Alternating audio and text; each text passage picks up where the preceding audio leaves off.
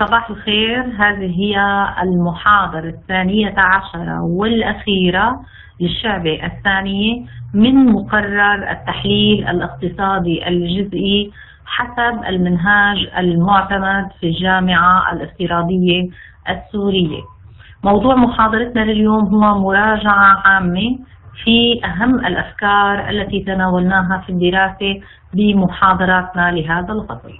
بداية سنذكر بأهم الأفكار التي تناولناها في المحاضرة السابقة. في المحاضرة السابقة تحدثنا عن آه، أربعة أنماط سوقية وهي سوق المنافسة التامة سوق المنافسة الاحتكارية سوق احتكار القلة وسوق الاحتكار المطلق. طبعا نحن درسنا خصائص كل نوع من أنواع هذه الأسواق. اليوم سوف أذكر بهذه الخصائص من خلال هذا الجدول الذي يقارن بين هذه الخصائص في كل سوق. آه، نبدأ بالخاصة الأولى اللي هي عدد المنشآت. تحدثنا بأن المنشآت التي تعمل في سوق منافسة تامة عددها كبير جدا جدا جدا. أيضا في سوق المنافسة الاحتكارية العدد كبير ويقل العدد كلما اتجهنا باتجاه احتكار القلة. الذي يتراوح العدد فيه بين آه، منشأتين وعدد مثلا 20 منشأة. عندما يكون العدد منشأتين نقول بأنه احتكار ثنائي. أما إذا كان أكثر من ذلك نقول بأنه احتكار متعدد. أما في حالة الاحتكار المطلق فالمنشأة وحيدة وبالتالي لا وجود لمنشآت منافسة. من حيث نوع المنتج نلاحظ أن المنتج يكون متجانس في سوق المنافسة التامة. طبعا ما المقصود بالمنتج متجانس؟ أي أن المنتجات متشابهة متماثلة لا يوجد أي تميز في أي منتج وهي تشكل بدائل تامة لبعضها البعض. ووجود البدائل التامة هو ما يجعل منحنى الطلب على أي سلعة. موجودة في السوق هو منحنى طلب تام المرونة. آه، أما بالنسبة لسوق المنافسة الاحتكارية نلاحظ أن المنتج غير متجانس. هنا المنشآت تحاول أن تميز منتجاتها من خلال تحسين الجودة أو آه، تحسين في التغليف أو في الإعلان عن السلعة أو في غير ذلك. صباح الخير أمل انضمت لنا هلا. صباح الخير أمل. طيب أوكي. أما بالنسبة لاحتكار القلة أيضا نجد أن المنتج غير متجانس. يعني هي المنتجات تشكل بدائل ولكن هذه البدائل هي بدائل غير تامة. بمعنى أن المنتجات مميزة عن بعضها البعض. يمكن التمييز بين المنتجات من حيث الجودة من حيث التغليف من حيث الدعاية والإعلان آه، من حيث الخدمات المرتبطة بتقديم السلعة. بينما نلاحظ في الاحتكار المطلق أن المنتج متجانس لأنه وحيد. فيما يتعلق بعوائق دخول السوق نلاحظ لا يوجد عوائق في الدخول إلى السوق أو الخروج منها في المنافسة التامة والمنافسة الاحتكارية. أي منشأة ترغب بالاستثمار أو بالإنتاج في السوق تستطيع أن تنتج دون الحاجة إلى موافقات أو تشريعات أو دون ارتفاع في التكاليف يمنع دخول المنشآت إلى هذه السوق. بينما نلاحظ في احتكار القلة يصعب دخول المنتجين إلى سوق السلعة نتيجة وجود عوائق تمنع الدخول أو خلينا نقول آه، تقلل. يعني إذا ما كنا نقول منع تام وإنما تعيق دخول المنتجين الآخرين. كأعطينا مثال عليه كارتفاع نفقات الدعاية والإعلان. عندما يكون هناك مثلا ثلاث منشآت موجودة في السوق وهي تحتكر السوق بشكل احتكار قلة وتنفق الكثير على الدعاية والإعلام بالتالي أي منشأة ترغب بالدخول إلى السوق عليها أن تنفق بشكل كبير على الإعلان حتى تنافس المنشآت التي هي موجودة أصلا. وبالتالي هذا سيؤدي إلى ارتفاع تكاليف تكاليف الإنتاج بشكل كبير. وبالتالي سنعتبر أن هناك عوائق أو حواجز تمنع دخول المنتجين إلى هذه السوق. بالإضافة إلى حواجز أخرى متمثلة مثلا بارتفاع مثلا الضرائب ببعض التشريعات التي تمنع دخول منتجين جدد يعني صعوبة منح التراخيص أو بوجود براءات اختراع أو غيرها من العوائق التي تمنع دخول المنتجين. أما في سوق الاحتكار المطلق نلاحظ استحالة في الدخول. قلنا استحالة الدخول إما نتيجة لتشريعات تمنع دخول منتجين جدد وتعطي الإنتاج لمحتكر وحيد أو قلنا نتيجة سيطرة المحتكر على الموارد اللازمة لإنتاج السلعة أو مجموعة من العوامل الأخرى التي قلنا كمثلا انخفاض التكلفة الوسطية التي ينتج بها أحد المنتجين وبالتالي قدرته على إخراج المنتجين الآخرين من السوق. إذا هذه هي أهم المقارنات بين الخصائص المتعلقة بالأسواق. أنتقل إلى المعلومات حول ظروف وشروط السوق. نلاحظ أن المعلومات متوفرة. هلا هنا لا نقصد فقط متوفرة؟ في سوق المنافسة التامة والمنافسة الاحتكارية لا يكون هناك تكلفة للحصول على المعلومات. بالتالي المعلومات متوفرة سواء للمنتجين أو للمستهلكين حول الأسعار حول الكميات حول آه، وجود بدائل أو عدم وجود بدائل وبالتالي هي متوفرة في آه، جميع أنواع الأسواق. فيما يتعلق بالسعر نلاحظ أن أهم ما يميز سوق المنافسة التامة بأن السعر ثابت وهو متغير خارجي يفرض عليها من السوق. إذا أي منشأة تريد أن تعمل في سوق المنافسة التامة هي ستعمل عند السعر الذي يتحدث في السوق ولن تستطيع التأثير على هذا السعر لماذا لا تستطيع التأثير على السعر؟ لأن عدد المنشآت التي تقوم بالإنتاج كبير والحصة السوقية لهذه المنشأة منخفضة وأيضا لوجود منتجات أخرى بديلة آه، أو تشكل بدائل تامة لهذه السلعة وبالتالي المنشأة لا تستطيع أن تمارس أي تأثير على السعر فنعتبر أن المنشآت هي منشآت آخذة للسعر أو متلقية للسعر الذي يفرض عليها من السوق بينما في سوق المنافسة الاحتكارية نلاحظ أن المنشآت تستطيع أن تمارس تأثيرا محدودا على السعر ما الذي يجعل المنشآت تمارس تأثيرا على السعر؟ هو قدرتها على تمييز منتجها لأنها منتجة بنظر المستهلكين مميز إما من ناحية الجودة إما من ناحية آه، مثلا التغليف الإعلان. وبالتالي سوف تجد مستهلكين آه، يرغبون بدفع سعر أعلى لهذه السلعة التي تقدمها طالما أنها بنظر تحقق لهم تميز عن السلع الموجودة في السوق. طبعا ولكن نحن قلنا أن هذا التأثير هو تأثير محدود وليس تأثير مطلق. لأنه في حال ارتفع السعر عن حد معين سوف يتحول المستهلكين أيضا بالنتيجة عن هذه السلعة إلى سلع أخرى حتى وإن كانت بدائل أقل جودة أو أقل تفضيلا بالنسبة للمستهلك.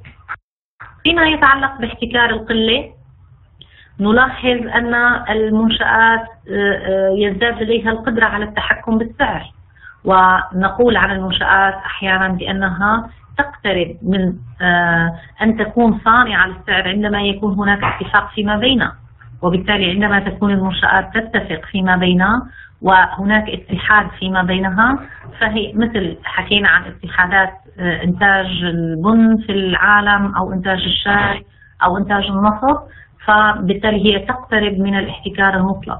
أما عندما يكون هناك منافسة فيما بينها فهي تقترب من سوق المنافسة الاحتكارية. إذا لا يكون هناك اتفاق ضمني أو معلن بين المنشآت وبالتالي آه، تستطيع أن تتحكم بالسعر ولكن غالبا إلنا لا تلجأ المنشآت التي تعمل في سوق المنافسة عفوا في سوق احتكار القلة إلى المنافسة من خلال السعر لأن ذلك سيؤدي إلى وجود حرب سعرية بين الأطراف يؤدي إلى خسارة الأطراف جميعا.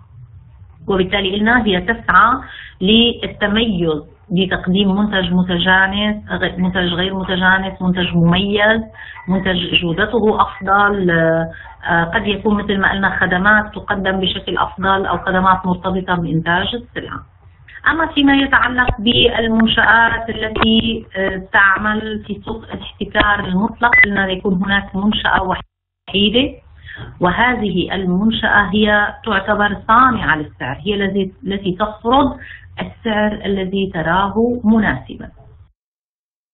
في أي سؤال حول السعر وكيف يختلف أو تختلف قدرة المنشآت على آه، تسعير المنتج باختلاف نمط السوق الذي تعمل به المنشأة؟ صباح النور لانا اللي انضمت لنا هلأ كمان لانا.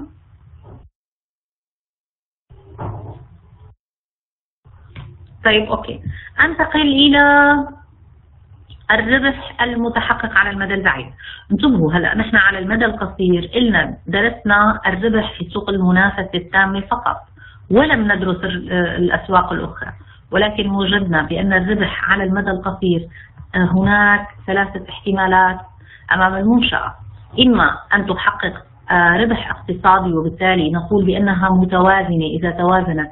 عندما آه، عند حجم الإنتاج الذي يحقق لها أقصى الأرباح أو يمكن أن تحقق ربح عادي ونحن شرحنا مفهوم الربح العادي قلنا عندما يكون الربح الاقتصادي صفري وبالتالي آه، هنا المنشأة تحقق فقط الأرباح العادية.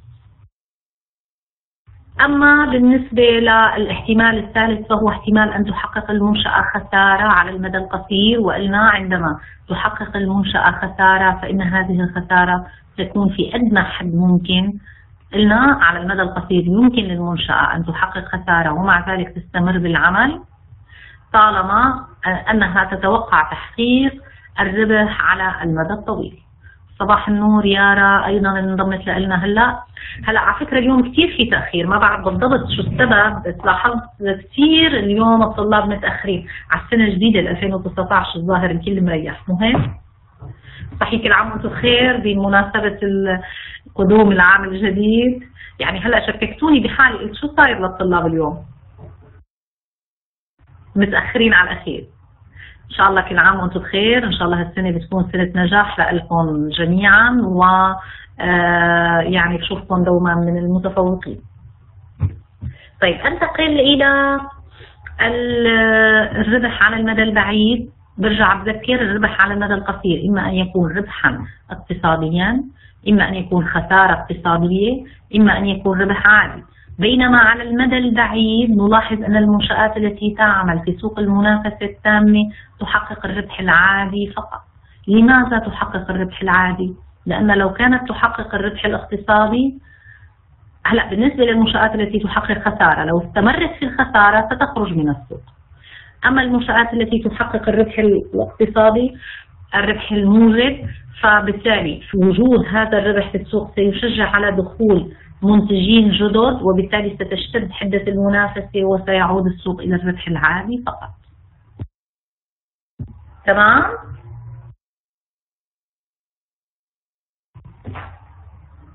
طيب هلا بالنسبة للمنشآت التي تعمل في آه، سوق المنافسة الاحتكارية نلاحظ أنها تحقق أرباحا موجبة على المدى البعيد. وأيضا الأمر ذاته بالنسبة لاحتكار القلة والاحتكار المطلق. أخيرا من حيث الإنفاق على الإعلام نلاحظ أنه لا يوجد إنفاق على الدعاية والإعلان في سوق المنافسة التامة لأن الإنفاق على الإعلام والدعاية والإعلان يجعل السلعة مميزة عن غيرها وبالتالي تصبح السلعة آه، غير متجانسة وبالتالي هو ما يوجد في سوق المنافسة الاحتكاري واحتكار القلة حيث تسعى المنشآت إلى تمييز منتجها من خلال الدعاية والإعلان عن هذا المنتج.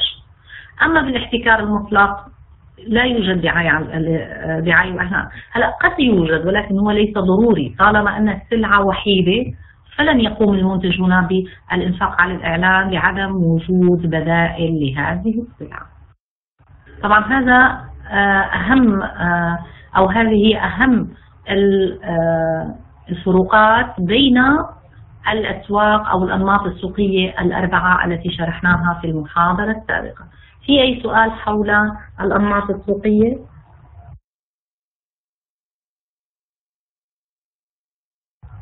طبعا فيما يتعلق بالأنماط السوقية بدي أرجع عيد ملاحظة هامة جدا جدا جدا نحن درسنا الإيراد.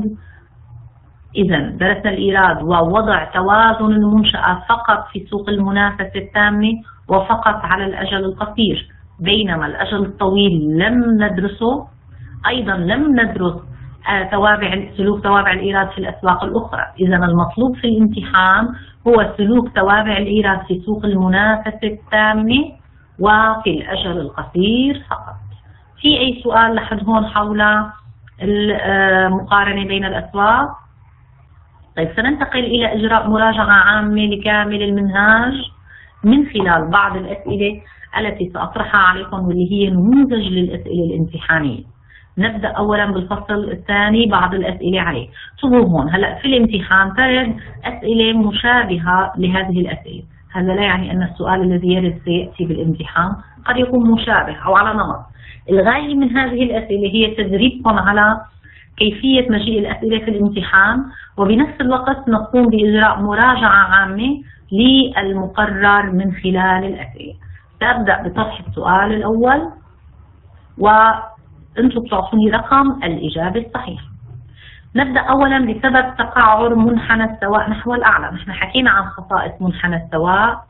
بالنسبة للمستهلك إلا من أهم ما يميزه أن هذا المنحنى مقعر باتجاه الأعلى محدد باتجاه نقطة الأصل. طيب ما هو سبب تقعر المنحنى للأعلى؟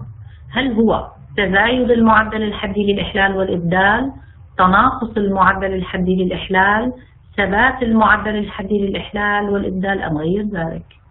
طبعا انتبهوا معي. ما هو المعدل الحدي للإحلال والإبدال؟ هو عبارة عن نسبة التبديل التي يبادل فيها المستهلك بين السلعتين. وقلنا بأن نسبة التبديل هي بتمثل الميل ميل منحنى السواء عند كل نقطة من النقاط.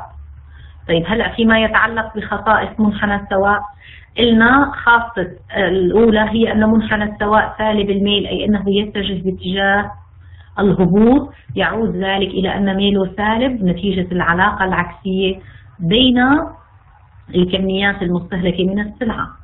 أما سبب تقعر منحنى السواء للأعلى فهو يعود إلى القيمة المطلقة للميل واللي هو معبرا عنه بالمعدل الحدي للإحلال والإبدال. هل القيمة المطلقة متزايدة أم متناقصة أم ثابتة أم غير ذلك؟ شو رأيكم؟ ما هي الإجابة الصحيحة؟ مين بيتذكر شو حكينا بمحاضرة المحاضرة اللي تحدثنا فيها عن النظرية الحديثة في سلوك المستهلك والتي آه، تحدثنا فيها عن المعدل الحدي بوصفه ميل منحنى السواء في إجابة؟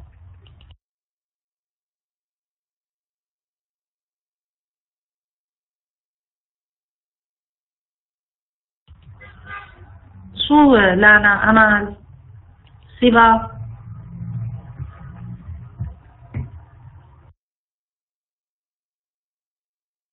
طيب أوكي حاولوا أنتم تتذكروا. ما بقى متذكرين شيء؟ شايفين هلأ هون هي الفكرة الأساسية لدى الطالب. هلأ الطالب بكل محاضرة أنا حضرها معي أكيد إنه هو لما طلع من المحاضرة يعني حس حاله إنه هو متأكد إنه المحاضرة سهلة. تمام؟ آه لا أنا يا ريت تكتبي لي بالعربي لأنه ما واضح معي ابدا الكتابة اللي كتبتيها. اذا إلا بأنه هو حس المحاضرة سهلة ولكن مع آه، يعني آه، تراكم المحاضرات بينسى كثير من التفاصيل. فلذلك بتمنى عليكم لما بدكم ترجعوا تدرسوا المادة تبدأوا بكل محاضرة وقلنا بشكل متسلسل تحاولوا تستمعوا للمحاضرة دوما بشكل بتركيز كبير وتنتبهوا آه، لكل تفصيل أنا حكيته ومثل ما قلنا تسجلوا بعض الملاحظات إذا كان ذلك ممكن. قلنا نحن بأن منحنى السواء هو منحنى مقعر نحو الأعلى. عم تقول لنا تزايد.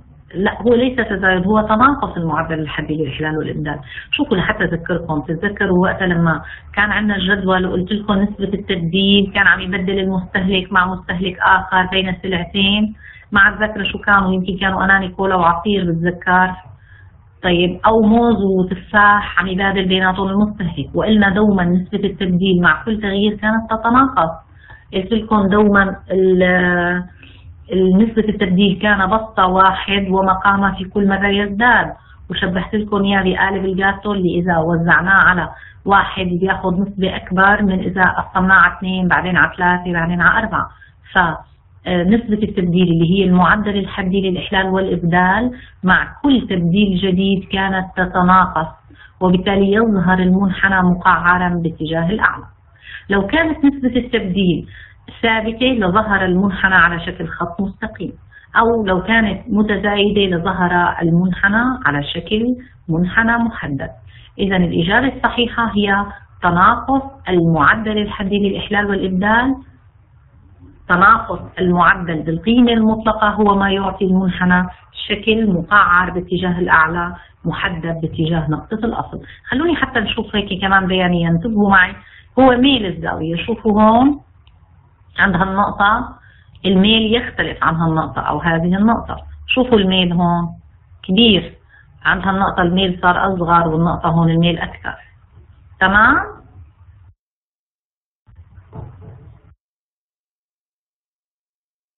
تذكرنا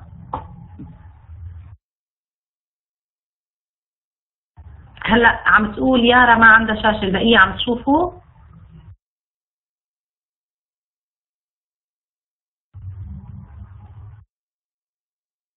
هلا الصورة واضحة؟ والله برافو عليكم. هلا آه، صار لي ثلاث ساعات وأنا عم بشرح وما أنتم ما شايفين كان الشاشة؟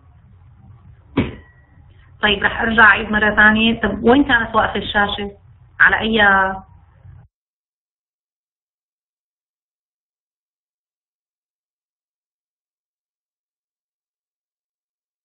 هلأ طلعت الشاشة ليش ما حكيتوا من الأول؟ وين واقفة الشاشة؟ واقفة عند هون؟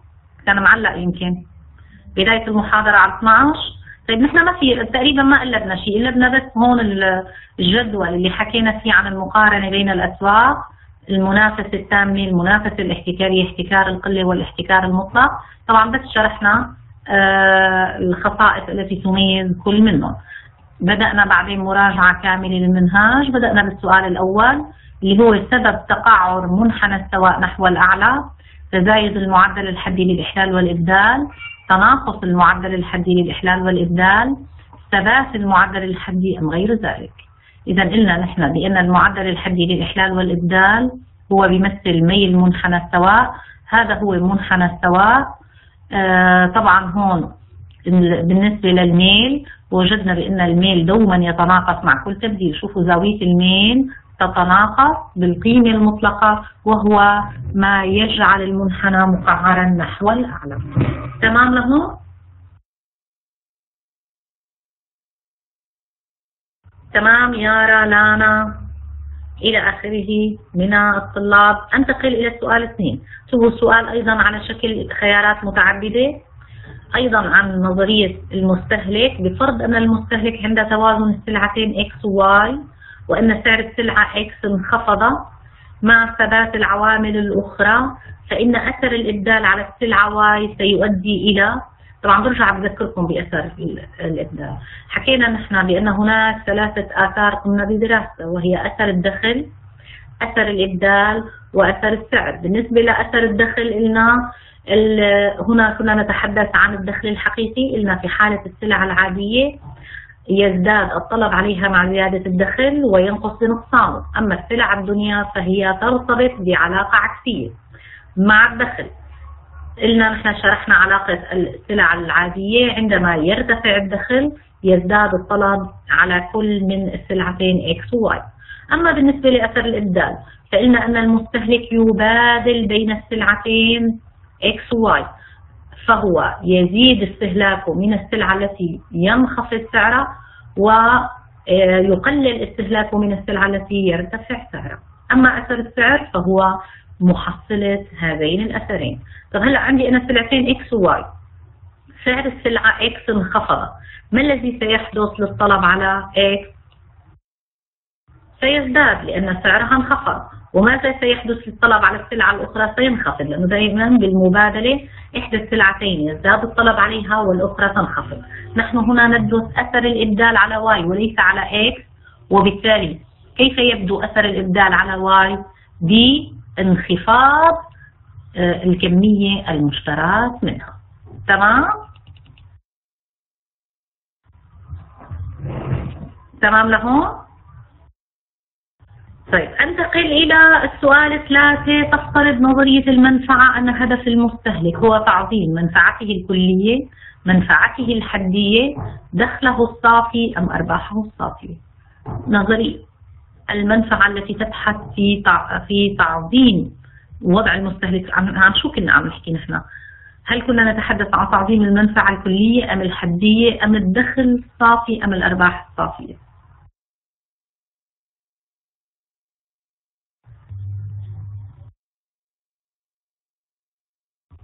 إذا الإجابة الصحيحة هي الإجابة الأولى هي تعظيم المنفعة الكلية. لأن المنفعة الحدية متناقصة. والدخل الصافي والأرباح لم نتحدث عنها تحدثنا عن الأرباح فقط في نظرية الإنتاج. إذا هدف المستهلك هو دوما تعظيم المنفعة الكلية من استهلاكه للسلع والخدمات. أنتقل إلى السؤال أربعة. ينجم دوران خط الميزانية عن ارتفاع أسعار جميع السلع بنفس النسبة؟ انخفاض أسعار جميع السلع بنفس النسبة؟ ارتفاع أو انخفاض سعر إحدى السلعتين مع ثبات الدخل انخفاض الدخل مع ثبات الأسعار. طبعا تحدثنا نحن عن مستقيم الميزانية واللي قلنا هو مستقيم يمثل الميزانية المستهلك أي مقدار الدخل الذي ينفقه على شراء السلعتين. إذا هنا يأخذ بعين الاعتبار آه، سعر سعري السلعتين والدخل المخصص للإنفاق. ووجدنا بأن آه، ميل مستقيم الميزانية يعبر عنه بالعلاقة النسبية بين سعري السلعتين المدروستين. فيما يتعلق بحركة مستقيم الميزانية إذا ترجعوا تتذكروا كان بهذا الشكل قلنا قلنا يمتاز, بمجموعة من الخصائص هو سالب الميل بسبب العلاقة العكسية بين X و Y إذا هو ينحدر إلى أسفل. أيضا الميل هو عبارة عن العلاقة النسبية بين سعري السلعتين المدروستين هو يمثل X على Y نحن بنحطها دوما بالقيمة المطلقة لأنه قلنا إشارته دوما سالبة وجدنا بأن هناك حركتين قد تظهران بالنسبة لمستقيم الميزانية.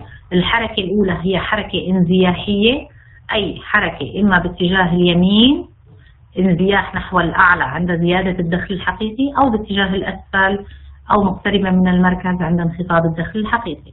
الحركة الثانية هي حركة دورانية حول أحد المحاور أو حول المحورين وينجم ذلك عندما يتغير آه، تتغير الميل بتغير العلاقة النسبية بين أسعار السلع المدروسة. وبالتالي آه، أصبح بإمكاننا أن نجيب عن السؤال ينجم دوران خط الميزانية عن ارتفاع أسعار جميع السلع بنفس النسبة؟ انخفاض الأسعار بنفس النسبة ارتفاع أو انخفاض سعر إحدى السلعتين مع ثبات الدخل أم انخفاض الدخل مع ثبات الأسعار. أي إجابة هي الإجابة الصحيحة؟ لانا عم تقول ثلاثة. البقية برافو عليكم. إذا صارت الإجابة الصحيحة هي الإجابة ثلاثة انتبهوا معي لأن ارتفاع أسعار السلع أو انخفاضها بنفس النسبة سيحافظ على الميل. وبالتالي الحركة ستكون حركة انزياحية. أيضا انخفاض الدخل مع ثبات الأسعار أي أن الميل ثابت وبالتالي الحركة انسحابية أو انزياحية. إذا الإجابة الصحيحة كما تحدثنا هي الإجابة ثلاثة التي تؤدي إلى تغير الميل. أنتقل إلى السؤال خمسة ينجم انزياح خط الميزانية على التوازي نحو اليمين عن آه، ثبات الدخل الاسمي مع انخفاض كافة الأسعار. انخفاض الدخل الاسمي مع انخفاض الأسعار بنسبة أكبر كل ما سبق أم غير ذلك. انتبهوا هون في عندي حركة انزياح أي أن العلاقة النسبية بين سعري السلعتين المدروستين تبقى ثابتة. وانزياح نحو اليمين وليس اليسار أي زيادة في الدخل الحقيقي. طيب هل يحدث ذلك نتيجة ثبات الدخل الاسمي مع انخفاض الأسعار؟ أم انخفاض الدخل الاسمي وانخفاض الأسعار ولكن بنسبة تنخفض الأسعار بنسبة أكبر من انخفاض الدخل أم كل ما سبق أم غير ذلك إذا ما هي الإجابة الصحيحة؟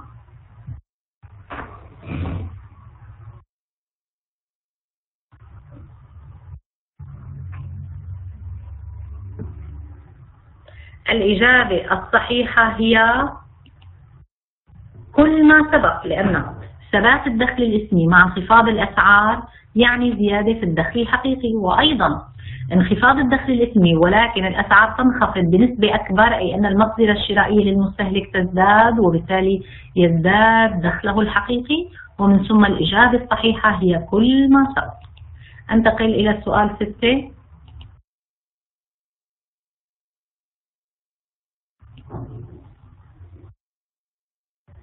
يعبر في خرائط السواء عن انتقال المستهلك من مستوى منفعة إلى مستوى منفعة أعلى بالانتقال من منحنى سواء إلى منحنى سواء أعلى بالحركة على طول منحنى السواء باتجاه الشمال الشرقي بانزياح خط الميزانية باتجاه اليمين أم يعبر عنه بطريقة أخرى.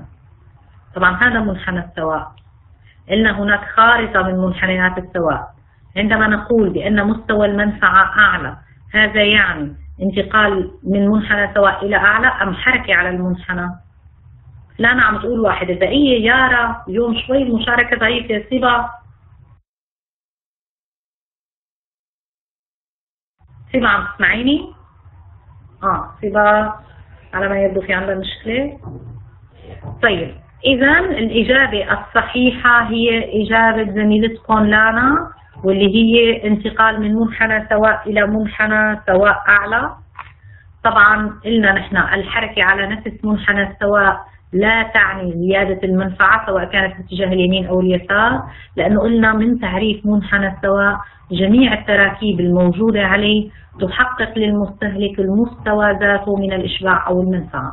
وبالتالي الانتقال من منحنى سواء إلى منحنى أعلى يعني أن منفعة المستهلك ازدادت. أما الانتقال إلى منحنى أدنى يعني أن المنفعة تنقصت في أي سؤال لحد هون حول آه خرائط السواء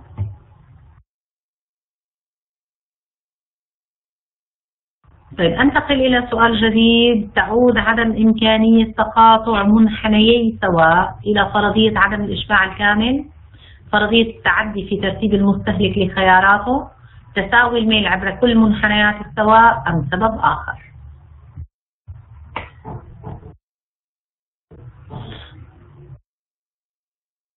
إذا بتتذكروا نحن حكينا عن خصائص منحنيات السواء وقلنا بأنها تتمتع بمجموعة من الخصائص. قلنا بأن الخاصة الأولى هي أن إشارة الميل سالبة كالمنحنى ينحدر من أعلى إلى أسفل. حكينا أيضا عن تناقص القيمة المطلقة للميل اللي هو المعدل الحدي للإحلال والإبدال وهو ما يعطي المنحنى شكل مقعر باتجاه الأعلى. أيضا قلنا بأن هناك خارطة من منحنيات السواء وقلنا الخاصة الأخيرة هي أن المنحنيات متوازية وغير متقاطعة. إذا تتذكروا لما شرحنا عن خاصية عدم التقاطع افترضنا بأن المنحنيين متقاطعين.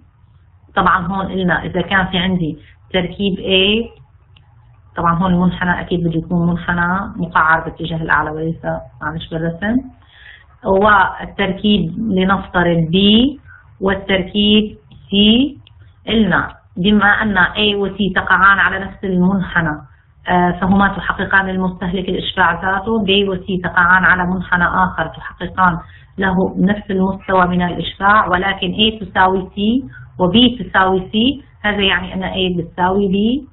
وبالتالي بما أنه لا يقعان على نفس المنحنى فالفرضية خاطئة إذا ماذا استخدمنا في دراسة عدم إمكانية تقاطع منحنيات السواء؟ أي خاصة استخدمناها؟ استخدمنا الخاصة الثانية وهي فرضية التعدي في ترتيب المستهلك لخياراته.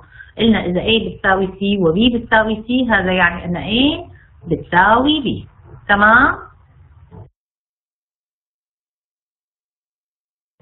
تمام لانا أمل.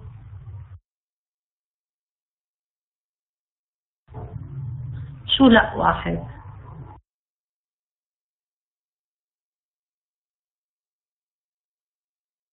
آه okay. أمل بس ما فهمت شو التعليق آه okay okay. طيب هلا. انتقل إلى سؤال ثمانية بفرض ثبات بقية العوامل يؤدي ارتفاع كافة أسعار السلع في فضاء المستهلك. وبنفس النسبة إلى تغير في العلاقة النسبية إلى انزياح خط الميزانية على التوازي باتجاه اليسار ونحو الأسفل إلى دوران خط الميزانية أم أثر آخر. انتبهوا هون الأسعار ترتفع ولكن بنفس النسبة. فالحركة هنا هل هي حركة دورانية أم انزياحية؟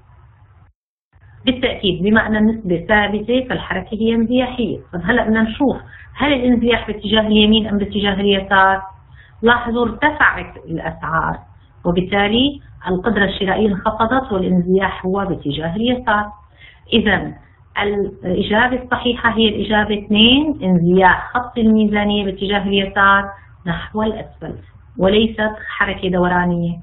أيضا لا تؤدي إلى تغير العلاقة النسبية لأنه قلنا نحن الارتفاع يحدث بنفس النسبة. إذا الإجابة الصحيحة هي الإجابة الثانية.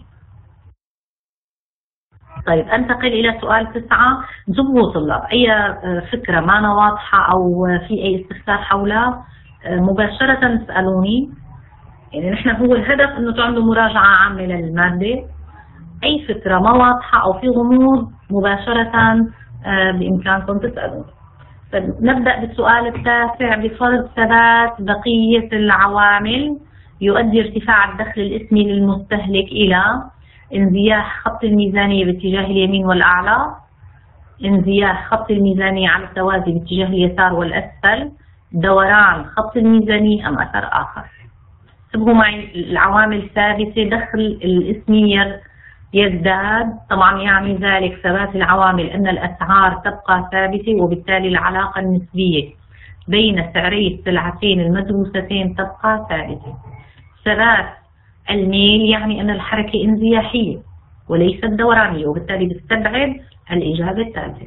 طيب هلأ عم نقول الحركة انزياحية. هل هي حركة انزياحية باتجاه اليمين أم اليسار؟ طبعا هذا بيحدده المعطيات النص ارتفاع الدخل الاسمي. إذا هون الدخل الاسمي زاد زاد الراتب مثلا والأسعار بقيت على ما هي عليه وبالتالي سينزاح مستقيم الميزانية باتجاه اليمين والاعلى تمام؟ لو كانت انخفاض في الدخل الاسمي كان الجواب انزياح باتجاه اليسار والأسفل. طيب أنتقل إلى سؤال جديد.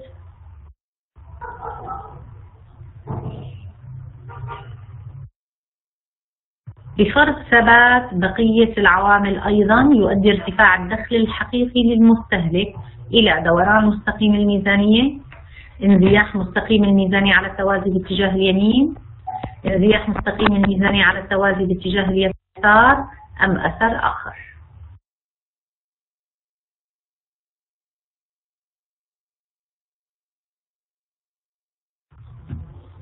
شو رأيكم؟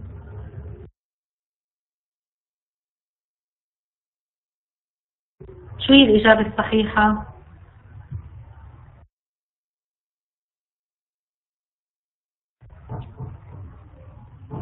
أوكي ما في مشكلة يارا عم تعتذر عن المشكلة التقنية اللي صارت عندها.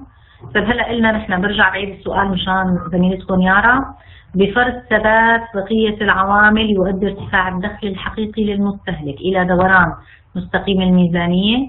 انزياح مستقيم الميزانية على التوازي باتجاه اليمين انزياحه باتجاه المركز المركز يعني نقطة الأصل أو باتجاه اليسار أم أثر آخر شو رأيكم؟ شو هي الإجابة الصحيحة؟ لاحظوا هون عم نقول الدخل الحقيقي يزداد العلاقة النسبية لم نتحدث عنها معنى ذلك أنها بقيت ثابتة وبالتالي ثبات العلاقة النسبية يؤدي إلى أن الحركة هي حركة انزياحية وليست دورانية لاحظوا الدخل الحقيقي ازداد كيف يعبر عنه؟ يعبر عنه بانزياح مستقيم الميزانية على التوازي باتجاه اليمين. إذا برافو الإجابة الصحيحة هي باتجاه اليمين.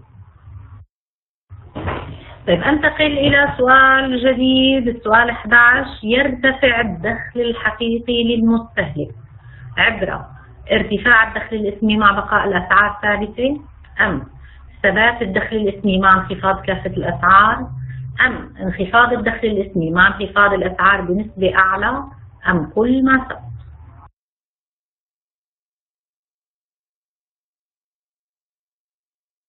إذا الإجابة الصحيحة مثل ما جاوبوا آه، زملائكم اللي هي كل ما سبق لأن ارتفاع الدخل الإسمي مع بقاء الأسعار يعني زيادة القدرة الشرائية للمستهلك وزيادة دخله الحقيقي نفس الأمر ثبات الدخل الإسمي مع انخفاض الأسعار يؤدي إلى زيادة القدرة الشرائية للمستهلك.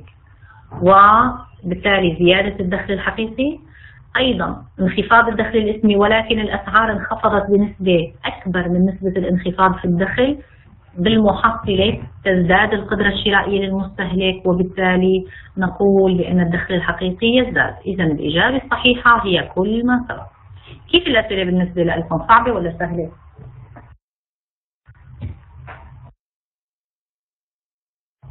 كيف شايفين الأسئلة؟ صعبة ولا سهلة؟ صبايا شباب.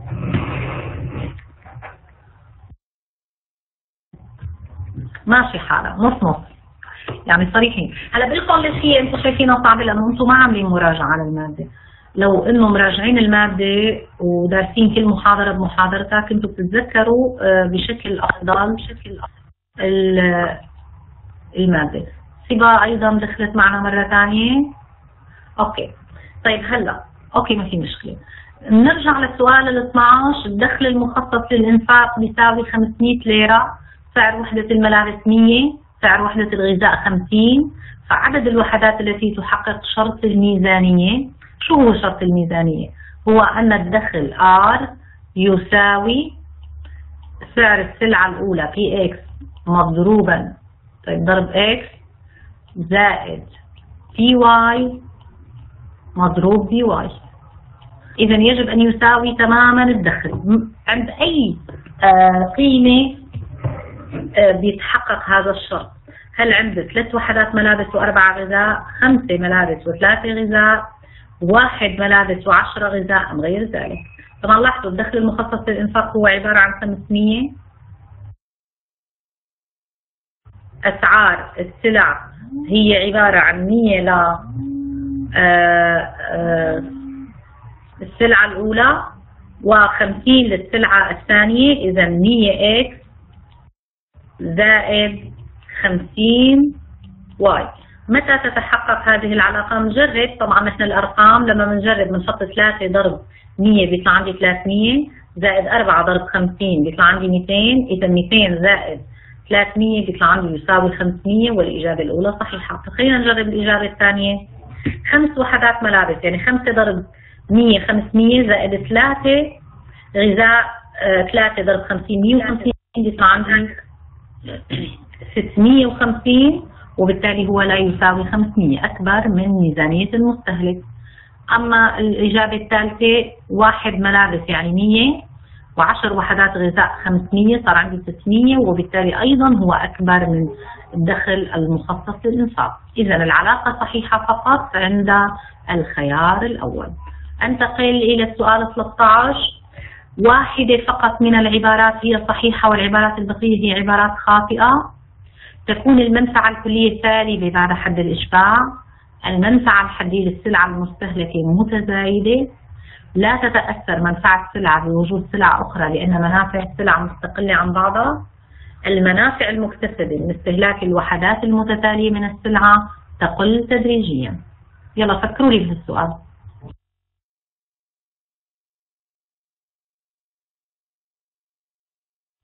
شو رأيكم؟ شو هي الإجابة الصحيحة؟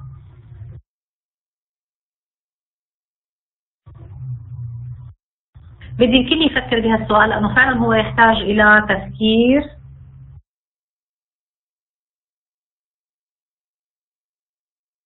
يلا يارا صبا عم تسأل زميلتكم شو يعني استهلاك الوحدات المتتالية من السلعة؟ يعني نحن لما بنشرب كاسة المي الأولى كاسة المي الثانية الثالثة الرابعة هذا يعني استهلاك وحدات متتالية نحن لما درسنا المنفعة دوما كنا نفترض أن المستهلك نفترض فرضيات ورجعوا اسمعوا المحاضرة أنا حكيتها. قلت بأن السلعة قابلة للتجزئة إلى وحدات متماثلة. وبالتالي الوحدات متماثلة تشبه بعض البعض. وحكيت بأنه هالوحدات صغيرة مشان أقدر أنا أعطي المستهلك منها عدد آه، من الوحدات لاقدر احسب المنفعة؟ من استهلاك كل وحدة اللي سميناها المنفعة الحدية، اذا المنافع المكتسبه من استهلاك الوحدات المتتالية أو ما يعني المنفعة الحدية تقل تدريجيا. اذا شو هي صار الخيار الصحيح؟ الخيار الصحيح مثل ما قالت زميلتكم صبا هو الخيار الرابع اللي هو لا مو الأول يا يارا هلا رح لكم ليش ما الأول انتبهوا معي بالنسبة للأول تكون المنفعة الكلية سالبة بعد حد الإشباع. نحن دوما المنفعة لا يمكن أن تكون سالبة. في حدا آه إذا استهلك السلع كل ما زاد استهلاكه بتنقص طبعا انتبهوا معي أنا قلت المنفعة الكلية بتتناقص بعد حد الإشباع ما قلت بتكون سالبة. المنفعة الحدية هي ما تكون سالبة بعد حد الإشباع. تمام؟ نشوفوا بين المنفعة الكلية والحدية. قلت المنفعة دوما حتى رسمتها بهذا الشكل موجب تصل إلى أعظم قيمة ثم تتناقص بس ما قلت إنه هي بتكون آه سالبة. السالبة هي المنفعة الحدية التي تتناقص بعد حد معين هو حد الإشباع والتي تقابل أعظم قيمة على المنفعة الكلية. إذا المنفعة الكلية تكون موجبة دوما. ولكن تتناقص بعد حد الإشباع بينما المنفعة الكلية تصبح سالبة بعد حد الإشباع. عند حد الإشباع بتساوي الصفر ثم تصبح سالبة. إذا الإجابة الأولى خاطئة. الإجابة الثانية المنفعة الحدية للسلعة المستهلكة متزايدة أكيد خطأ لأنه قلنا نحن دوما المنافع. الحديد السلعة متناقصة وليست متزايدة ورسمناها بهذا الشكل. دوما نحن لما بنكون عطشانين أو جوعانين اللقمة الأولى إذا جوعانين بتكون آه، آه، منفعتها أكبر من الثانية، الثانية أكبر من الثالثة وهكذا، كل ما استهلكنا أكثر تناقصت المنفعة الحديديه. أيضا لا تتأثر المنفعة بوجود آه، سلعه أخرى لأن المنافع مستقلة لنا خطأ، لأنه قلنا نحن السلع منافعها ليست مستقلة. وجود سلعتين مكملتين لبعضهم البعض بيعطيني منفعة من استهلاكهم معا أكبر من منفعة كل منهما. إذا تتذكروا شرحت لكم مثال عن الكمبيوتر المحمول مثلا والخط الأرضي اللي نحن إذا جمعناهم مع بعض ممكن نحصل على منفعة أكبر متمثلة بالوصول إلى شبكة الإنترنت. إذا بقي علينا الجواب الأخير المنافع المكتسبة من استهلاك الوحدات المتتالية أو ما يعني المنفعة الحدية تقل تدريجيا. هذا الأمر صحيح. إذا كل ما استهلكنا أكثر كلما انخفضت المنفعة الحدية من استهلاك السلع. تمام؟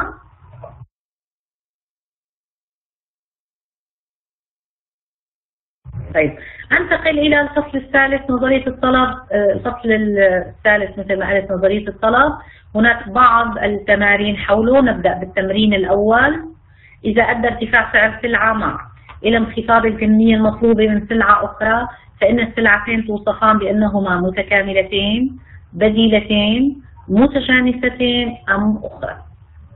انتبهوا معي السلعة ارتفع سعرها فانخفض الكميه المطلوبه من السلعة الأصلية.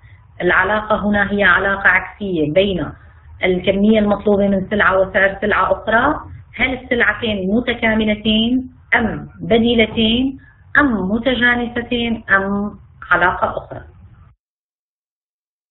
طيب هلا معظمكم جاوبني بأن السلعتين بديلتين طبعا الإجابة خاطئة. لأنه أنا قلت إذا بترجعوا تتذكروا العلاقة هي علاقة عكسية بين السعر والكمية في حالة الطلب إلا نحن السلعة الأصلية مثل مكملتها لما قلت لكم رفقات دوما العلاقة بين السعر والكمية هي علاقة عكسية بينما البديلة هي علاقة طردية. وحلينا أكثر من مثال عن ذلك. إذا برجع بعيد العلاقة بينهما هي علاقة تكامل لأن العلاقة بين سعر السلعة المكملة والطلب على السلعة الأصلية هي علاقة عكسية. طب انتقل إلى السؤال اثنين. إذا أدى انخفاض ثمن سلعة ما بمقدار أربع وحدات نقدية إلى زيادة الكمية المطلوبة منها بمقدار ثمان وحدات فمعنى ذلك أن مرونة الطلب عليها بتساوي نص مرونة الطلب عليها بتساوي اثنين. مرونة الطلب عليها أكبر من الواحد وأقل من اثنين أم لا شيء مما سبق شو رأيكم؟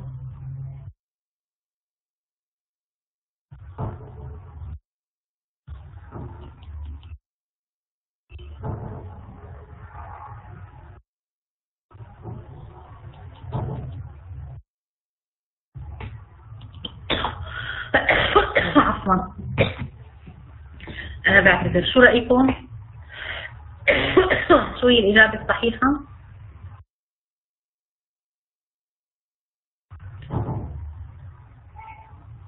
انتبهوا معي هلا هون هذا السؤال مثل ما بيقولوا هو مثل يعني سؤال خلينا نقول يعني آه، ليكوا هلا صيبة عم تقول ثلاثة. انتبهوا هذا السؤال آه، بيحتاج إلى تركيز كبير وممكن يؤدي لوقوع خطأ لدى لدى الطالب. انتبهوا انخفض ثمن السلعة بمقدار أربع وحدات. هلا بالحالة العادية نحن إذا بدنا نحسب المرونة إلى ماذا نحتاج؟ نحتاج إلى تغير نسبي في الكمية كنسبة مئوية على تغير نسبي في السعر. لحساب مرونة الطلب السعرية.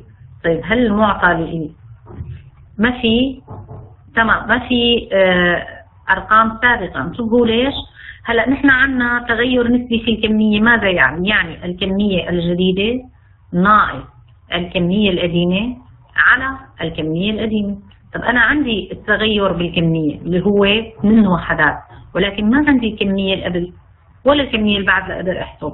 وبالتالي هنا التغيرات المحسوبة هي تغيرات مطلقة وليست نسبية شوفوا بمقدار أربع وحدات وليس بنسبة أربع وحدات. إذا المعلومات هنا هي معلومات غير كافية لذلك الإجابة هي لا شيء مما سبق. ما بقدر أنا أحسب. المرونة إذا ما كان عندي تغيرات نسبية تمام؟ فهمنا الفكرة؟ طيب أنتقل إلى سؤال جديد. تتزايد مرونة الطلب على السلعة. كلما كانت السلعة ضرورية للمستهلك كلما زاد نصيبها من دخل المستهلك كلما خفض ثمن السلعة أم كلما زادت درجة تكامل السلعة مع السلعة الأخرى. شو رأيكم؟ نحن حكينا عن هذا لما درسنا ما هي العوامل المؤثرة على مرونة الطلب السعرية وقلنا العوامل المؤثرة هي مدى أهمية أو ضرورة السلعة. كلما كانت السلعة ضرورية كلما كانت المرونة أقل والعكس صحيح كلما كانت الكمالية كلما كانت المرونة أكثر. حكينا أيضا عن حصة السلعة من دخل المستهلك أو سعر السلعة. كلما كان سعر السلعة مرتفع وتشكل حصة أكبر من دخل المستهلك كلما كان مرونة الطلب عليها أكبر والعكس صحيح كلما كان سعرها منخفض أو حصتها من الدخل منخفضة. أعطينا مثال الملح كلما كان مرونة الطلب أقل. أيضا إلا مدى توفر بدائل كلما كانت البدائل متوفرة بشكل أكبر كانت مرونة الطلب أكثر وكلما كانت السلعة متكاملة مع السلع الأخرى كلما كانت المرونة أقل.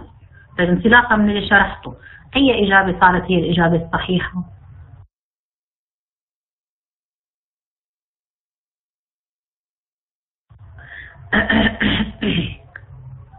إذا عم تقول زميلتكم يارا عفوا بعتذر الإجابة الصحيحة هي الإجابة ثلاثة.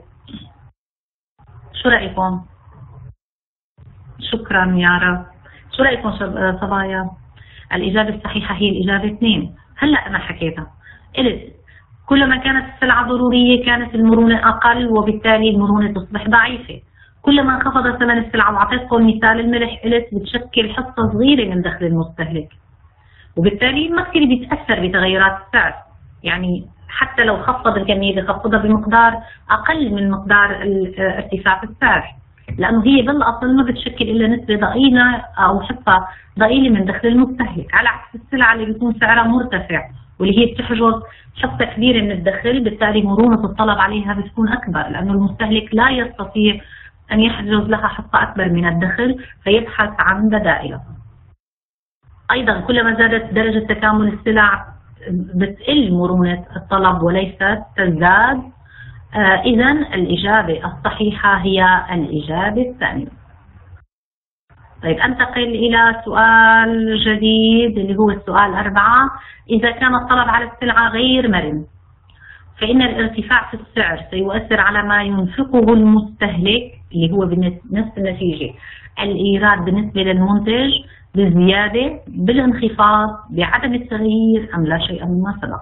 شوفوا إلا نحن آه هون عم نسأل عن علاقة الإيراد بالمرونة أو علاقة الإنفاق بالمرونة. وإلنا الإنفاق علاقته بالمرونة هي مشابهة لعلاقة الإيراد بالمرونة.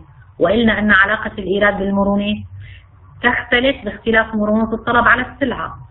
عندما يكون الطلب على السلعة غير مرن فالإيراد يتبع بتغيرات السعر يزداد بزيادته وينخفض بانخفاضه أما عندما يكون مرنا فهو يعاكس السعر يرتفع بانخفاضه وينخفض بالزيادة طيب هلا الطلب على السلعة غير مرن كيف سيتأثر الإنفاق؟ هل سيزداد أم سينخفض أم سيبقى ثابت أم غير ذلك؟ شو رأيكم؟ الإجابة الصحيحة هي لا نعم تقول اثنين. طب هلا قلت لكم أنا إذا كان الطلب على السلعة غير مرن فالإيراد يتبع للسعر، السعر شو صار فيه هون؟ ارتفع. شو بيصير بالإنفاق؟ بده يزيد الإنفاق ولن ينخفض الإنفاق. يعني أنا مثلا عم بنفق على الدواء اللي هو دواء ضروري جدا واللي ما فيني بستغني عنه آه الضروري. طب هلأ معنى ذلك؟ إذا كانت مثلا آه علبة الدواء أو خلينا نقول ليس صلب المرونة يعني دواء ضروري أو خليني أقول خبز. طيب هلأ ممكن ينخفض الخبز مع ارتفاع سعره ولكن ينخفض بنسبة أقل من نسبة الارتفاع في السعر وبالتالي ما ينفقه المستهلكون. على هذه السلعة سيزداد. لأنه ما بيقدروا يخفضوا من الكمية كثير لأنه الطلب عليها غير مرن. لذلك إلا نحن في المنشآت التي آه، تنتج سلع الطلب عليها غير مرن من مصلحتها أن تقوم بزيادة السعر لزيادة الإيراد. وأعطيتكم مثال عن الأدوية والأطباء اللي إلا نحن دوما الطلب عليهم آه، على سلعهم أو على الخدمات غير مرن بالتالي من مصلحتهم أن يقوموا بزيادة السعر لزيادة إيراداتهم. نفس الأمر لزيادة الإنفاق بالنسبة للمستهلك. تمام؟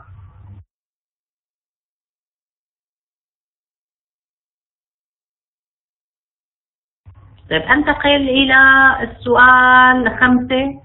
إذا أدى ارتفاع دخل المستهلك بنسبة 20% انتبهوا هون النسبة. إذا معطى نسبة فجهزة المعلومات. إلى ارتفاع في الكمية المطلوبة من لحم الدجاج بنسبة 10% فإن مرونة الطلب السعرية بتساوي ناقص 0.5 مرونة الطلب السعرية على لحم الدجاج بتساوي 2 مرونة الطلب الداخلية على لحم الدجاج بتساوي 0.5 مرونة الطلب الداخلية على لحم الدجاج بتساوي ناقص 2 أي إجابة هي الإجابة الصحيحة؟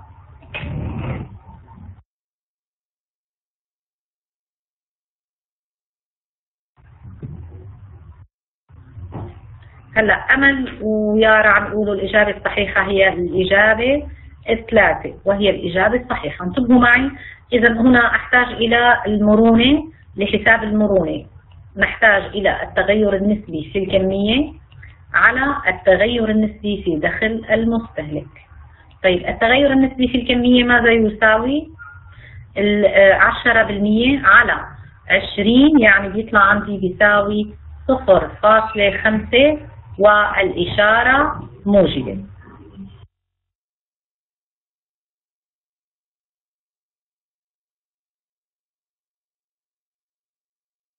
إذا قلنا من المعلومات الواردة في نص المسألة أصبحت المرونة الداخلية هي 0.5 وبالإشارة الموجبة، ليش بالإشارة الموجبة؟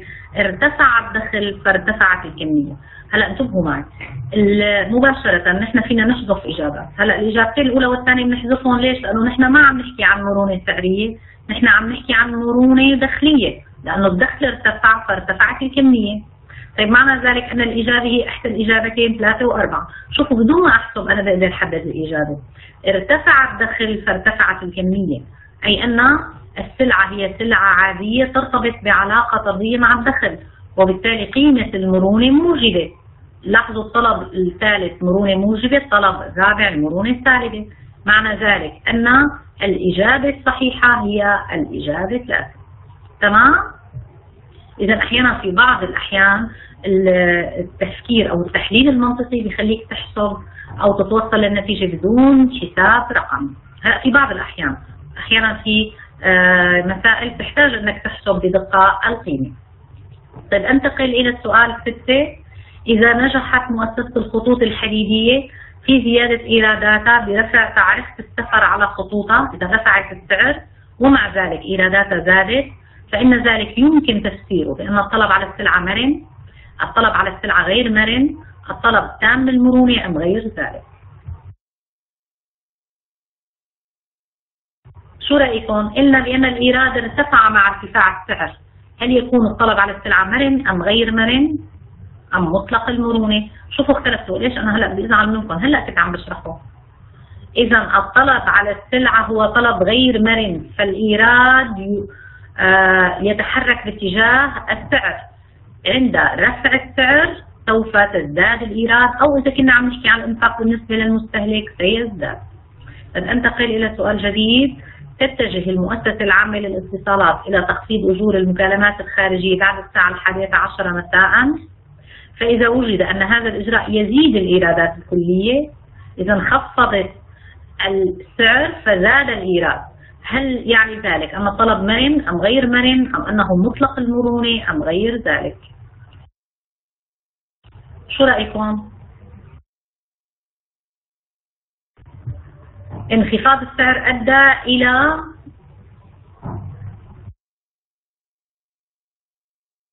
زيادة الإيرادات يعني ذلك. أن الطلب على السلعة مرن أم غير مرن؟ معاكس للمثال اللي هلأ أعطيناه بالقبل إذا هذا يعني أن الطلب على السلعة هو طلب مرن.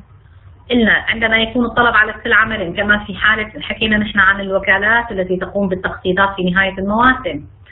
ومع ذلك نلاحظ بأن إيراداتها تزداد لأنها تستطيع أن تبيع كمية أكبر. إذا عندما يكون الطلب على السلعة مرنة فإن من مصلحة المنشأة أن تقوم بتخفيض السعر لأن تخفيض السعر سيؤدي لزيادة الإيرادات. طيب أنتقل إلى السؤال الثاني. كلما ضعفت مرونة الطلب اقترب منحنى الطلب من شكل الخط الأفقي الشاقولي الأفقي أو الشاقولي أم آخر. طبعا إحنا حكينا عن أشكال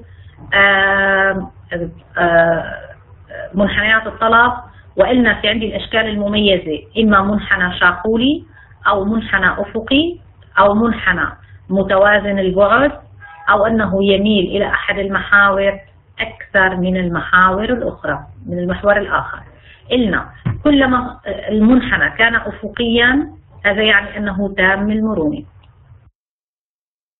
أما عندما يكون المنحنى شاقولي هذا يعني بأنه عديم المرونة أو صلب المرونة.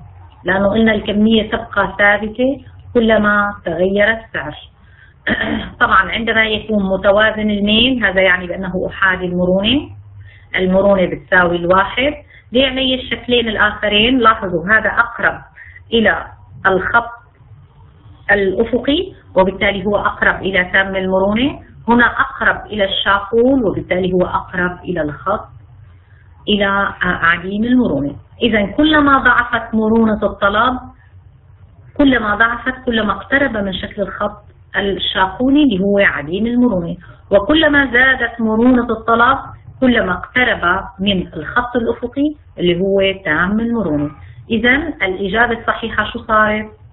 الإجابة الصحيحة هي كلما ضعفت مرونة الطلب اقترب المنحنى من شكل المنحنى الشاقولي طب أنتقل إلى السؤال تسعة. بفرض ثبات بقية العوامل إذا أدى ارتفاع سعر أحد أنواع الجبنة بنسبة 10% إلى ارتفاع الكمية المطلوبة منها بنسبة 15% فإن الطلب على هذا النوع من الجبنة يوصف بأنه تام المرونة تام الصلابة ضعيف المرونة أم مرن نسبيا شو رأيكم؟ أيضا هون لاحظوا عندي نسب مئوية اللي هي 10% و15% للكمية. لا أحسب أنا المرونة. حط التغير النسبي في الكمية آه، في السعر في الكمية على التغير النسبي في السعر يعني 15% على 10% بيطلع عندي 1.5 طيب لما بيطلع عندي 1.5 كيف يمكن تفسيره؟ قيمة معامل المرونة بالقيمة المطلقة هي أكبر من الواحد. انتبهوا ليش عم أقول إيه قيمة مطلقة لأن مرونة سعرية إشارتها دوما سالبة. ينخفض السعر فتزداد الكمية. وبالتالي العلاقة بينهما هي علاقة عكسية. إذا قيمة معامل المرونة هي واحد ونص وهي أكبر من الواحد. وبالتالي المنحنى هل هو تام المرونة تام الصلابة ضعيف المرونة أم مرن نسبيا قصدي الطلب وليس المنحنى. شو رأيكم؟ لما بتكون قيمة معامل المرونة أكبر من الواحد لما تكون القيمة هي عبارة عن واحد ونص أكبر من الواحد هذا يعني أن الطلب تام المرونة معقولة طلب تام المرونة؟ تام المرونة بتكون قيمة لا نهائية. إذا الطلب على السلعة هو طلب مرن نسبيا لأن معامل المرونة أكبر من الواحد وأقل من اللانهاية تمام؟ تمام يا صبايا. باعتبار اليوم محاضرة بس وجود صبايا طب أنتقل إلى سؤال جديد. إذا ارتفع سعر سلعة بديلة أن ارتفاعه يؤدي إلى انخفاض الطلب على السلعة الأصلية زيادة الطلب على السلعة الأصلية لا يؤثر على الطلب على السلعة الأصلية أم غير ذلك.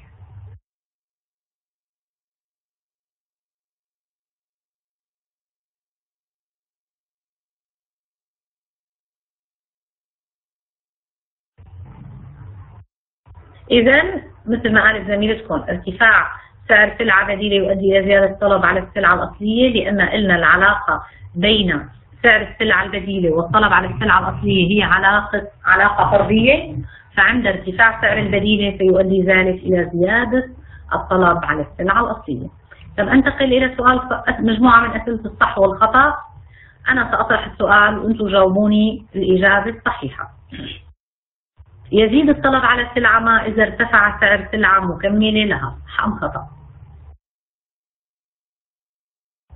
شوفوا هون عندي عم أقول أنا مكملة والعلاقة هنا ظهرت علاقة طردية. هل هذا الأمر صحيح أم خاطئ؟ إذا مثل ما قالت لانا الإجابة خاطئة لأنه لو كانت السلعة مكملة يجب أن تكون العلاقة بين الكمية المطلوبة من السلعة وسعر السلعة الأخرى هي علاقة عكسية. طيب أنتقل إلى السؤال الثاني. تكون السلعتين في نوعين مكملتين إذا أدى ارتفاع سعر إحداهما إلى زيادة الطلب على الأخرى صح أم خطأ؟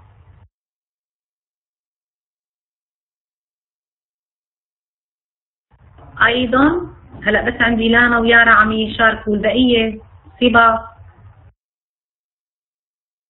كمان خطأ برافو لأنه العلاقة هنا هي يجب أن تكون علاقة عكسية وليست طردية. طيب هلا إذا كانت السلعتين بديلتين فإن ارتفاع سعر إحداهما يؤدي لانخفاض الطلب على الأخرى. صح أم خطأ؟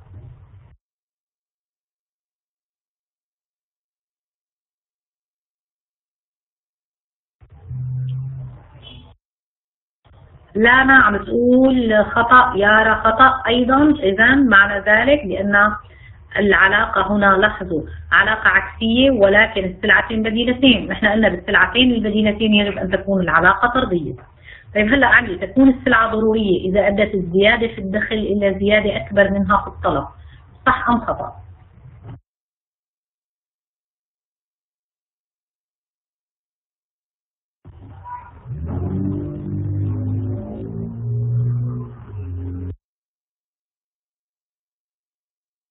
انتبهوا ما معنى إنه زيادة الدخل تؤدي إلى زيادة أكبر منها في الطلب. هذا يعني بأن الطلب على السلعة هو طلب مرن بالنسبة للدخل. ولكن نحن قلنا بالسلع الضرورية الطلب غير مرن. بينما بالسلع الكمالية الطلب مرن. هذا يعني تكون السلعة ضرورية إذا أدت الزيادة في الدخل إلى زيادة أكبر منها في الطلب الإجابة خاطئة. لأنه نحن قلنا في السلع الضرورية تكون مرونة الطلب هي مرونة ضعيفة. تمام؟ عرفنا ليش رفضناها؟ اكتبوا معي. هو اللي بخربط كلمة الزيادة. تكون السلعة ضرورية إذا أدت الزيادة في الدخل إلى زيادة أكبر منها خطأ. إذا أدت الزيادة في الدخل إلى زيادة أقل وبالعكس. إذا أدى الانخفاض في الدخل تكون الانخفاض أقل منه. لأن مرونة الطلب ضعيفة. طيب أنتقل إلى الخامسة يختلف مفهوم التغير في الكمية المطلوبة عن مفهوم التغير في الطلب صح أم خطأ؟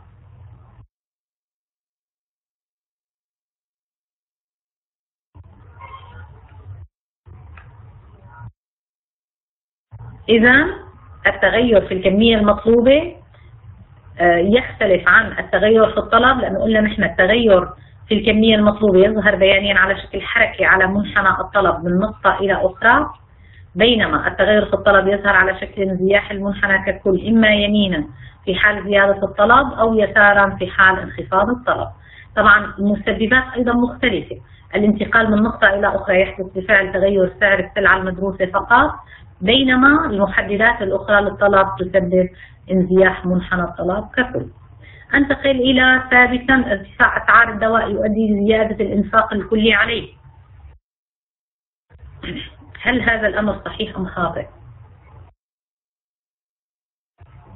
تمام برافو إذا هو يؤدي إلى زيادة الإنفاق لماذا؟ لأن الطلب على الدواء هو طبعا الدواء هو سلعة ضرورية الطلب عليها غير مرن وبالتالي الإنفاق أو الإيراد يرتبط بالسعر بعلاقة طردية فارتفاع السعر يؤدي إلى زيادة الإنفاق أو الإيراد وانخفاضه يؤدي إلى انخفاض الإنفاق أو الإيراد طيب أخيرا ارتفاع أسعار الحلوى يؤدي لانخفاض الإنفاق الكلي عليها. صح أم خطأ؟ أيضا صح لأن الحلوى هي سلعة كمالية فالطلب عليها هو طلب مرن وبالتالي الإنفاق يعاكس السعر. ارتفاع السعر يؤدي لانخفاض الإنفاق والعكس صحيح. طبعا الإجابات كلها موجودة في هذا السلايد. في سؤال حول نظرية الطلب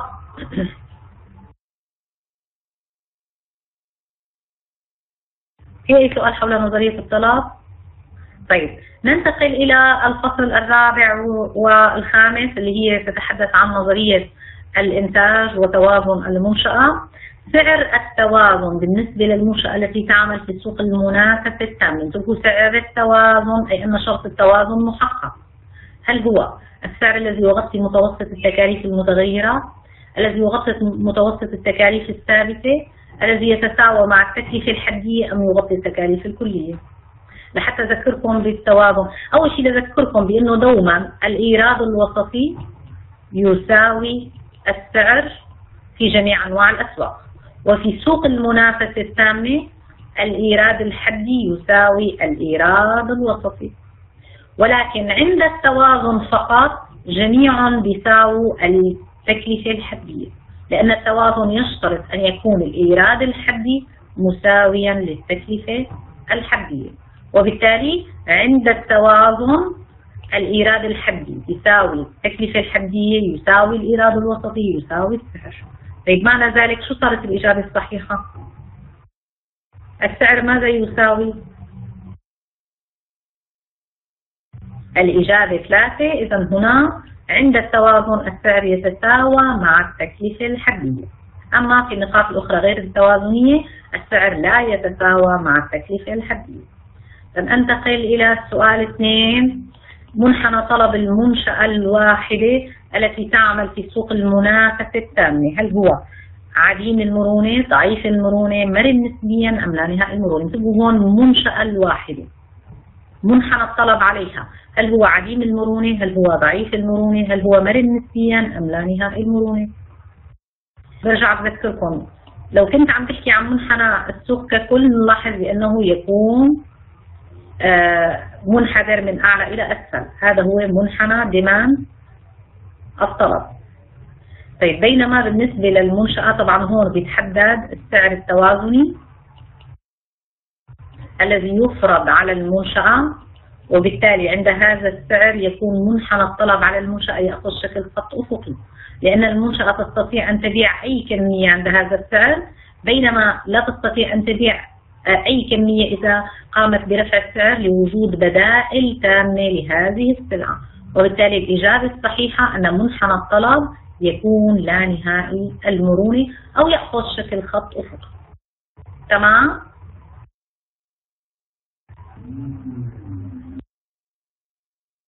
طيب أنتقل إلى السؤال الثلاثة جميع ما يلي من خصائص المنافسة التامة ما عدا وجود عدد كبير من المنتجين حرية الدخول والخروج من السوق ضخامة الإنفاق على الإعلان تحقيق أرباح اعتيادية في المدى البعيد شو رأيكم؟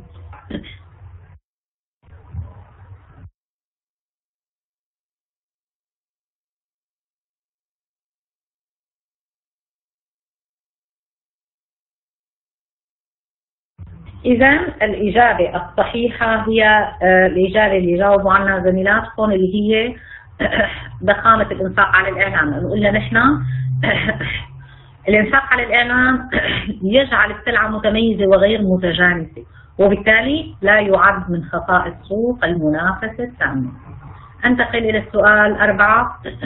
إذا بلغ الإيراد الكلي 1500 ليرة من بيع عشر وحدات فإن الإيراد المتوسط يساوي 150 100 15000 أم 15 طبعا الإيراد المتوسط ماذا يساوي؟ الإيراد المتوسط average revenue يساوي الإيراد الكلي مقسوما على عدد الوحدات المنتجة. وبالتالي هو يساوي 1500 على 10 يساوي 150 ليرة سورية. مجرد تطبيق مباشر على القانون. أنتقل إلى السؤال خمسة. إذا تغيرت كمية الإنتاج من أربعة إلى خمسة خمس وحدات. وترتب على ذلك تغير التكلفة الكلية من 200 إلى 300 ليرة فإن التكلفة الحدية ستكون 500 100 50 أم 60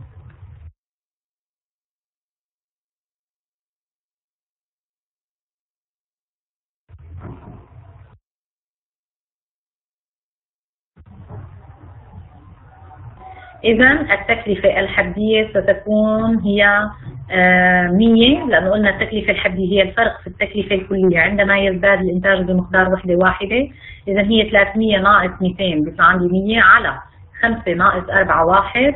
إذا 100 على واحد بيطلع عندي يساوي 100 والإجابة الصحيحة هي الخيار الثاني. السؤال 6 يقول إذا كان منحنى التكلفة الكلية المتوسطة أدنى من السعر؟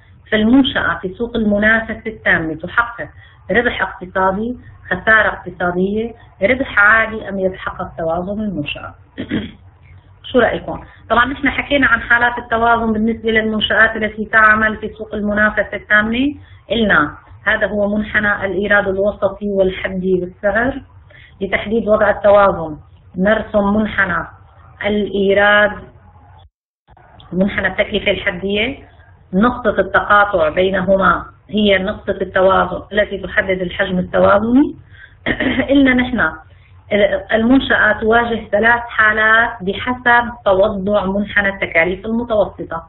إذا كان منحنى التكلفة المتوسطة أعلى من منحنى السعر طبعا هون السعر وهذا التكلفة المتوسطة بالأخطار نقول أن المنشأة تحقق خسارة اقتصادية. إذا كان المنحنى يمس المنحنى السعر. أي أن المنشأة تحقق ربح عادي والربح الاقتصادي صفري وإذا كانت آه، إذا كان آه، منحنى التكلفة المتوسطة أدنى من السعر هذا يعني أن المنشأة تحقق ربح اقتصادي. تمام؟ طبعا نحن هنا أمام أي حالة؟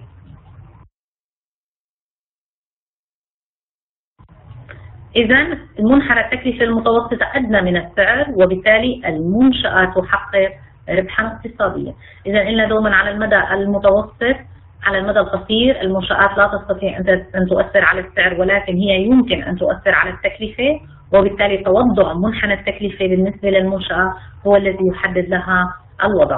طبعا التوازن مثل ما قلنا يمكن أن يتحقق عند تحقيق خسارة أو ربح أو ربح عادي ولكن المنشأة تكون في أفضل وضع إنتاجي ممكن إما مع تعظيم الأرباح أو تدمية الخسائر. في عندي سؤال أخير حول التوازن في آه، السوق بفرض ثبات بقية العوامل إذا ساعدت الظروف الطبيعية على تضاعف محصول التفاح فإن المنحنى ينزاح منحنى عرض التفاح ينزاح نحو اليمين. التوازن يتحقق في سوق التفاح عند مستوى أدنى من السعر. التوازن آه، طبعا كمية توازنية آه، للتفاح تزداد. خلونا نشوف نحن عن كل ما سبق. هذا هو منحنى demand اللي هو الطلب منحنى supply اللي هو العرض. خليني آخذ منحنى supply باللون الأحمر. طيب هلا لو ساعدت الظروف على تضاعف محصول التفاح ما الذي سيحدث؟ تضاعف المحصول سيؤدي إلى انزياح المنحنى باتجاه اليمين. وبالتالي سننتقل من نقطة توازن أولى إلى نقطة توازن جديدة. طيب عند هذه النقطة ما الذي سيحدث؟ نلاحظ بأن الكمية التوازنية والسعر التوازني سيختلفان. نلاحظ أن الكمية ستزداد وإلا نحن بأن الكمية تتبع للطلب وترتبط به بعلاقة طردية. أما السعر سينخفض لأنه يرتبط بالعرض بعلاقة عكسية. إذا نلاحظ ينزاح منحنى عرض التفاح نحو اليمين صح؟ انزاح المنحنى يمينا. مع الانزياح اختلفت نقطة التوازن وانتقلنا إلى وضع توازني عند مستوى أدنى من السعر إذا انتقلنا من النقطة A إلى النقطة B اللي هو عند مستوى أدنى. أيضا نلاحظ أن الكمية التوازنية من التفاح تزداد وبالتالي الإجابة الصحيحة هي كل ما سبق. تمام لهون؟ في أي سؤال؟ طبعا هيك نحن بنكون انتهينا من محاضرتنا لهذا اليوم اللي أجرينا فيها مراجعة عامة حول آه، كامل الفصول اللي تناولناها في الدراسة. في أي سؤال حول أي فكرة وردت أو آه، ممكن أنتم عندكم غموض فيها؟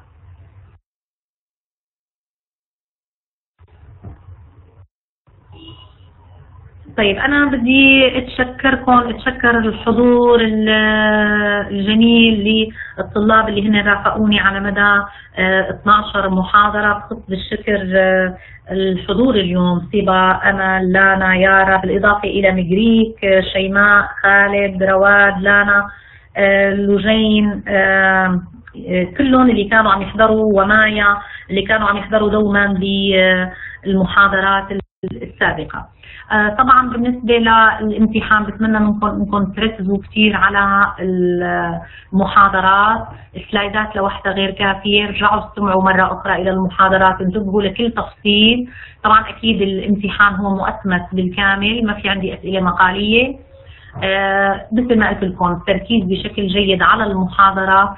آه بيعطيكم إمكانية النجاح وبمعدلات مرتفعة إن شاء الله.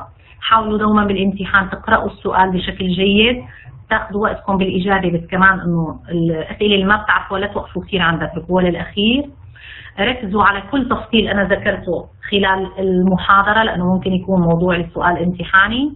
بالنسبة للوظيفة مثل ما قلت لكم أنا بضيف علامة الحضور كتكريم للطالب ولكن هذا لا يعني بأنني أحرم الطالب اللي ما حضر من العلامة.